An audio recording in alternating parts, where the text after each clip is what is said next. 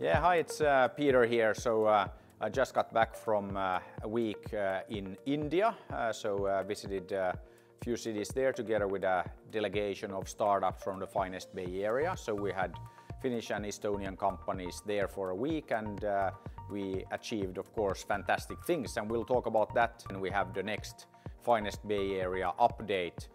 We also have our uh, Minister of the Environment, uh, Kimmo Tiilikainen uh, join us, so we'll talk about the latest developments on the environmental permit side and, and what is happening with that. So yeah, let's talk about the tunnel and the FinEst Bay Area on Thursday.